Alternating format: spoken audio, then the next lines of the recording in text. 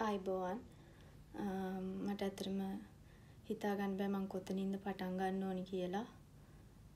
මේ මාසේ පස්වැනිදා මං PCR එක කරා. එතකොට හයවැනිදා මට දැනගන්න ලැබුණා මම කොවිඩ් පොසිටිව් රෝගියෙක් කියලා.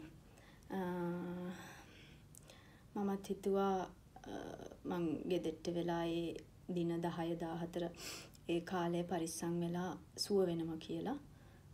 මොකද මම මේ සම්බන්ධව ඉතාම දරුණු විදියට හිතපු නැති නිසා. ඉතින් පළවෙනි දවස් දෙක තුන මම හොඳින් හිටියා.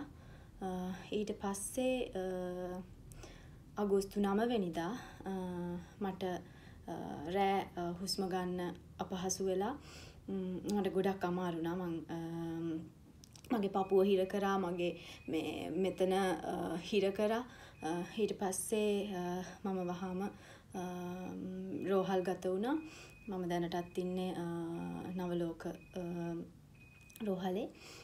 අද මගේ අටවෙනි දවස. මෙහෙම හරි චුට්ටක් කතා කරන්න පුළුවන් අද.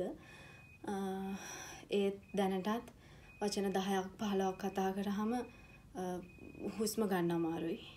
හැබැයි මේකේ තවමත් මේකේ තියෙන භයානකකම දන්නේ නැති විශාල පිරිසක් ඉන්න නිසා මම මේ වීඩියෝ එක අමාරුවෙන් හරි කරන්න ඕනි කියලා හිතුවා. මේක ඉතාම භයානක ලෙඩක්. මේකේ භයානකකම අපි දැන් හංගල තේරුමක් නැහැ. මොකද හංගලා ඕගොල්ලන්ව පැනික් කරන්නේ නැති එකට වඩා ඕගොල්ලන්ට මේකේ භයානකකම කියලා ඕගොල්ලන් පරිස්සම් වෙන එක තමයි හොඳම දේ. මම අවශ්‍ය බෙහෙත් ඔක්කොම ගන්නවා. ඒ වගේම දවසට තුන් හතර පාරක් ස්ටීම් කරනවා. මේවා මේ මූණවල් මේ ඇඟ ඇතුළ මේවා ඔක්කොම තැම්බිලා තියෙන ස්ටීම් කරලා කරලා. හරිම අමාරුයි. මේ මේ මොහොතේ හොඳට ඉන්නවා ඊළඟ මොහොතේ ආපහු සිම්ටම් එකක් ඇවිල්ලා අමාරු වෙනවා. මේක එහෙම ලෙඩක්. මේ දවස් ටිකේ නම් ඊයේ ඊයේ රෑත් මගේ ප්‍රෙෂර් මට්ටම හොඳටම අඩු වෙලා ෆේන්ට් වෙන්න ආවා. ඒ වගේම ඊට කලින් දවසක තද්ද කැස්සක් ඇවිල්ලා හුස්ම හිර වුණා. ඉතින් මෙතන දෙවිවරු වගේ වෛද්‍යවරු හෙදියන් දිවා රෑ බලන්නේ නැතුව අපි හැම කෙනෙක්ම වෙනුවෙන් වැඩ කරනවා. ඉතින් ඒගොල්ලන්ට මම ගොඩාක් ස්තුතිවන්ත වෙනවා. ඒ ඒ ට්‍රීට්මන්ට්ස් ඔක්කොම අරගෙනත් මට අවුරුදු 23යි. මට අවුරුදු 23ක් වෙලත් මගේ ඇඟේ කිසිම රෝගයක් මගේ ශරීරයේ කිසිම රෝගයක් නොතිබිලත් ඊටාම සෞඛ්‍ය සම්පන්න ජීවිතයක් ගත කරලත් ගොඩක් පරිස්සම් වෙලත් මේ රෝගෙන් මේ රෝගෙ මට හැදුනා. එතකොට පුංචි දරුවෙක්ට අසනීපෙන් ඉන්න ඕගොල්ලන්ගේ අම්මට තාත්තට මේක හැදුනොත් කොහොම තියෙයිද? කොච්චර අමාරු වෙයිද? ඇයි මේකේ භයානකකම තාම තේරෙන්නේ නැත්තේ? තාමත් කතා කරලා මගේ සහෝදර රංගන ශිල්පිනියන් ශිල්පීන් පිරිසකටත් හැදිලා තියෙනවා මේ කොවිඩ් පොසිටිව් වෙලා තියෙනවා. මම සමහර අයට කතා කරාම ඒ අයගෙන් තවමත් සහය අධ්‍යක්ෂකවරු නිෂ්පාදන ආයතන කතා කරලා දින ඉල්ලනවලු. හොඳ වෙනකම් බලන් ඉන්නේ දින ටික අරගෙන ෂූටිං එනකම්. මේ ලෙඩේ නිකන් උණක් හෙම්බිරිස්සාවක් නෙවෙයි. මේක හැදුනහම හරිම අමාරුයි. ඒක ඒක හැදුණු මිනිස්සයා විතරයි ඒකේ අමාරුව දන්නේ. ඒක හදාගන්න එපා කියලා තමයි මේ කියන්නේ. මම ගෞරවයෙන් ඉල්ලනවා. මගේ රංගන ශේත්‍ර සියලුම දෙනාගෙන් ඒ වගකිව යුතු අධ්‍යක්ෂකවරු නිෂ්පාදක ආයතනවලින් කරුණා කරලා මිනිස්සුන්ගේ ජීවිතවල වටිනාකම තේරුම් අරගෙන රූපගත කිරීම නවත්තන්න.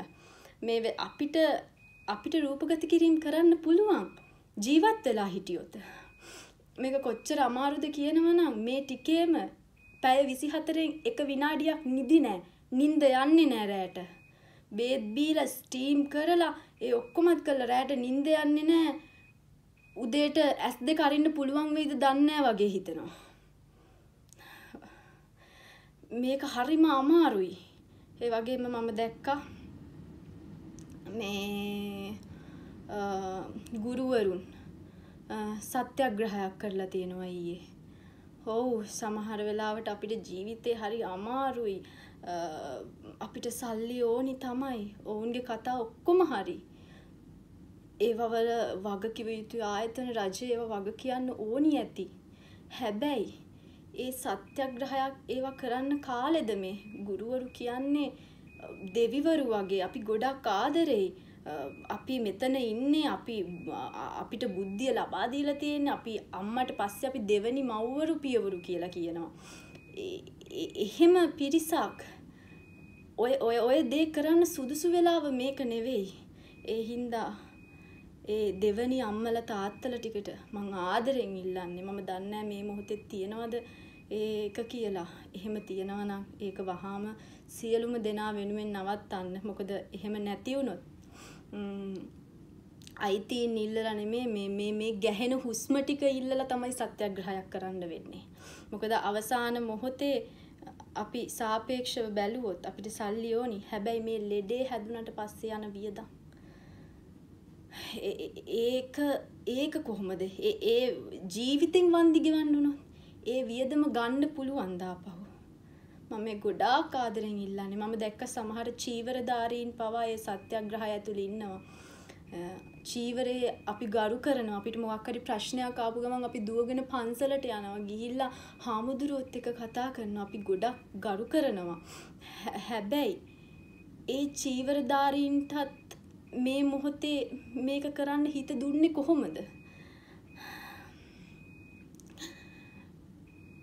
මේක ඉතාම භයානක ලෙඩක්. බුදුරජාණන් වහන්සේ මෙහෙම දේශනා කළා නෑ නේද හාමුදුරුවනේ? ඒ හින්දා ඇයි ඇයි මේක සුළුවෙන් සුළුවෙන් සුළුවෙන් තකන්නේ? මේක භයානකකම දැන්වත් තේරුම් ගන්න. දැනටත් මේ දවස් අටක් ගිහිල්ලත් මගේ හුස්ම හිර වෙනවා. මම නමවෙනිද රෑ හිතුවා මම මැරෙයි කියලා. මම මේ දේවල් මගේ අම්මටවත් කියන්නේ මොකද ඇයත් අසනීපෙන් ඉන්නේ මං ඇය ගැන හිතන්න ඕනි එතකොට මේ පාරට බැහැන් බැහැලා ඉන්න මේ ඕගොල්ලෝ ඔක්කොමලා ඕගලන්ගේ ජීවිතයට ආදරේ නැද්ද? ඕගලන්ගේ අම්මා තාත්තට, ඕගලන්ගේ දරුවන්ට ආදරේ නැද්ද? මම දැකලා තියෙනවා පුංචි පැටවුත් අරගෙන පාරට බැහැලා ඉන්නවා. ඒ දරුවන්ගේ ජීවිතේ රිස්ක් එක්ක දාලා තියෙනවා. ඇයි එහෙම කරන්නේ? මේ මේක මීට වඩා වගකීමෙන් අපි වැඩ කරන්න ඕනි වෙලාවක්. මං අත් දෙක එකතු කරලා වැඳලා ඉල්ලන්නේ. ඕගොල්ලන් මීට වඩා වගකීමෙන් මේ වැඩ කරන්න. ඒ වගේම මගේ ශේෂ්ත්‍රයේ සියලුම දෙනාගෙන් ඉල්ලන්නේ ඔව් අපිට සල්ලි ඕනි අපිට දේවල් ඕනි හැබැයි ජීවිතේ නැති වෙන අන්තිම තප්පරයට ආවහම අපිට ඔය මුකුත් මතක් වෙන්නේ මතක් වෙන්නේ මේ ගැහෙන හුස්ම ටික විතරයි අපිට අන්තිමට ඕනේ වෙන්නේ ඒක විතරයි. මෙතන ප්‍රතිකාර ගන්න ගමන් හිටියත් මගේ පපුව පිච්චෙනවා. මොකද මම දන්නේ නැහැ. මගේ අම්මා තාත්තා ආච්චි ඒගොල්ලන්ට තත්ත්වය කොහොමද? ඒගොල්ලන්ට නෙගටිව් වෙයිද පොසිටිව් වෙයිද කියලා මම බයේ ගැහෙනවා. මට මම මේ උදා වෙලා තියෙන තත්ත්වේ ඕගොල්ලන් කාටවත් උදා වෙන්න ඕනේ නැති හින්දායි මම මෙච්චර අමාරුවෙන් හරි මේ වීඩියෝ එක කරන්න හිතුවේ ඒ වගේම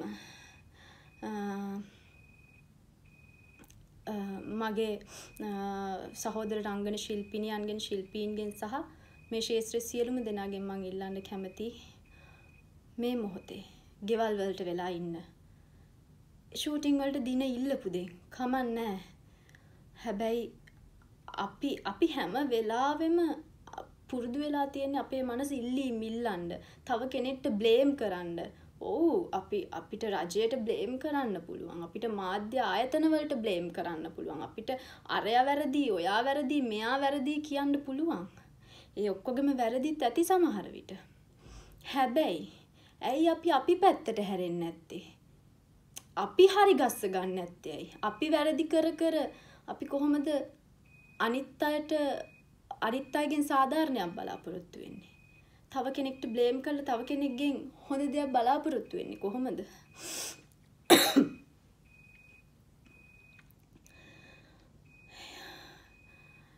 ඒ හින්දා මම කියන්නේ වගේම තව කියන්න ඕනේ මේ ගෑනු ළමයෙක්ගේ ඇගේ චූටි හරි කෑල්ලක් දැක්ක ගමන් විකාර පෝස්ට් හදාගෙන මේ මාධ්‍ය සමාජ මාධ්‍ය විහිළුවක් කරගෙන මේ ෆේස්බුක් එකේ දඟලන කාඩ්බෝඩ් වීරයෝ ටිකට මේක ඉතාම භයානක ලෙඩක්. මරණෙත් විහිළුවකට ලක් කරගෙන ඉන්න සියලුම දෙනාගෙන් මං ආදරෙන් ඉල්ලන්න කැමතියි. මේක මට නැති වෙයි කියලා හිතන්න එපා. මේක හැමෝටම ඊළඟ මොහොතේ හෙට වෙන්න පුළුවන්. ඒ නිසා මං ආදරෙන් ඉල්ලන්නේ ඒ මෝඩ වැඩ ටික නවත්තලා දාන්න. ෆේස්බුක් එකක් දකිද්දී කොවිඩ් රෝගියෙක් එහෙමත් නැත්නම් වෙනත් කෙනෙක් ඕනම පුද්ගලයෙක් තවත් පීඩනයට පත්වන දේවල් සමාජ මාධ්‍ය හරහා ව්‍යාප්ත කරන්න එපා. ඒ වගේම අපි දන්නවා මේක අමාරුයි. සමහර ඉල්ලීම් සමහර දේවල් අපි ඉල්ලන්න ඕනේ. හැබැයි ජීවිතේ මෙහෙම අවස්ථා ඕන තරම් එනවා. අපි රේස් එකක් වගේ හැල්මේ දිව්වට පොඩ්ඩක් නැවතිලා එක ස්ටෙප් එකක් පිටිපස්සට ගන්න වෙන අවස්ථා අපේ ජීවිතේ එනවා. මේක එහෙම අවස්ථාවක් වෙන්න ඇති.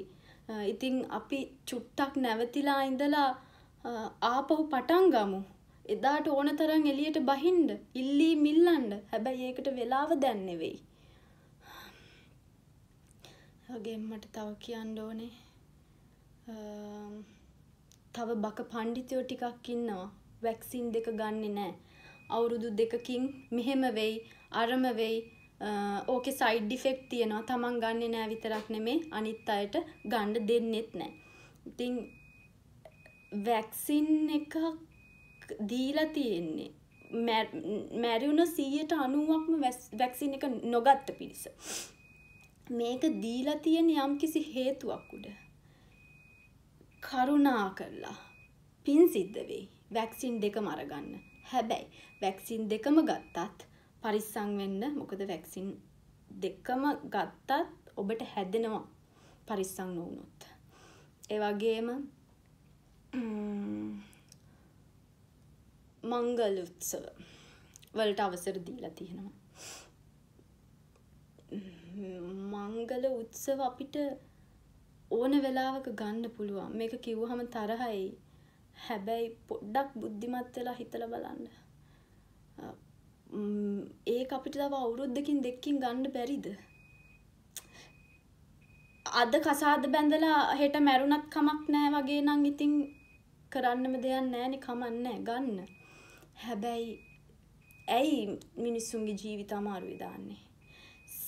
පනස් දෙනාට ඉන්වයිට් කරන්න පුළුවන් මෙච්චරකට ඉන්වයිට් කරන්න පුළුවන් කියලා කියනවා තමයි. හැබැයි ඒ පණහත් අවධානමය නෙවෙයිද.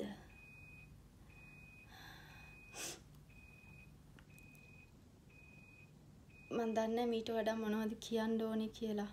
මට මම මූුණ දීපු අත්දැකීම නිසා මම මේක බෙදා නොගත්තොත් මම ආත්මාර්ථකාමී කියලා මට දැනුන නිසයි මම මේ වීඩියෝ එක කරන්නේ. මම දන්නේ නැහැ රෑට නිදාගත්තාම මම හෙට උදේට ඇස් දෙක අරීද කියලාවත්. එච්චරට අමාරුයි.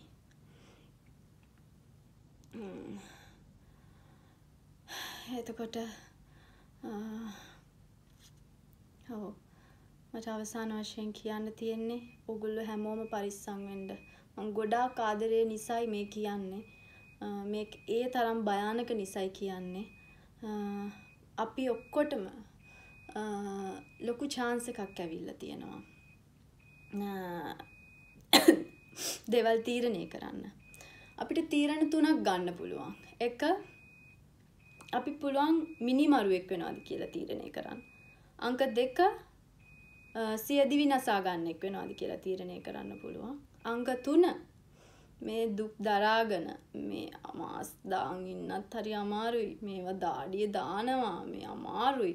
ඒ ඒ ඔක්කොම දරාගෙන හැබැයි ඒක අමාරුවෙන් හරි කරලා මේ සැනිටයිස කරලා ඒ ඉන්ස්ට්‍රක්ෂන්ස් ඔක්කොම ෆලෝ කරලා ඒ දුක විඳගෙන බොහොම අමාරුවෙන් තව අවුරුද්දක් විතර දෙකක් විතර ඉඳලා මේකෙන් පරිස්සම් වෙනවද? ඔන්න ඔය තුනෙන් මොකද්ද ඔයගොල්ලෝ තෝරගන්නේ? මිනිමරුවෙක් වෙනවද? ඒ කියන්නේ Tamanටත් බෝ කරලා අනුන්ටත් බෝ කරලා තමනුත් මැරලා අනිත් අයවත් මරලා දානවද? එහෙම නැත්තම් සියදිවි නසා ගන්නවද? Tamanට විතරක් බෝ කරලා Taman මැරිලා යනවද? එහෙම නැත්තම් අන්තිම එක. තෝරගන්න තියෙන බුද්ධිමත්ම තීරණේ.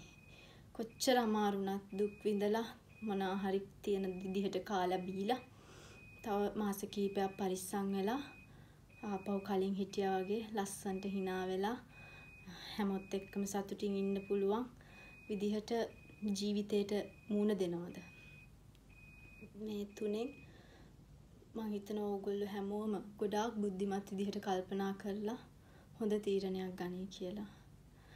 ගොඩක් ස්තුතියි පරිස්සමින් ඉන්න. ගොඩක් ආදරෙයි.